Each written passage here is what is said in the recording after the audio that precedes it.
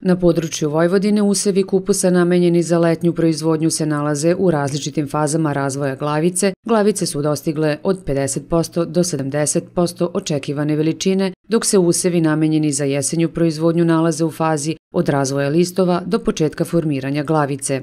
Pregledom useva kupusa uočeno je prisustvo različitih štetočina i to kupusnog moljca, kukuruzne sovice i bele kupusne mušice, saopšteno je iz prognozno izveštajne službe. Kupusov moljac je najznačajnija štetočina kupusa. Štete prave larve koje se prvo hrane listovima, a u kasnijim fazama razvoja se ubušuju u glavicu. Prilikom jačeg napada dolazi do globrsta kada ostaju samo glavni nervi na listovima. Pregledom je uočeno prisustvo jaja i larvi te štetočine na naličiju listova. U toku je intenzivno piljenje larvi kupusovog moljca.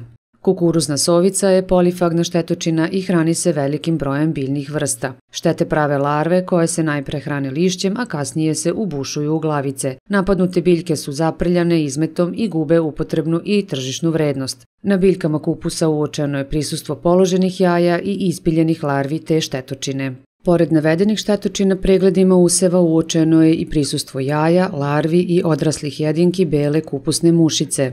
Tokom ishrane larvi i odraslih jedinki koje se hrane biljnim sokovima, one luče veliku količinu medne rose na koju se naseljava gljiva čađavica. Prisustvo te gljive negativno utiče na fotosintezu, prinos biljaka i kvalitet proizvoda.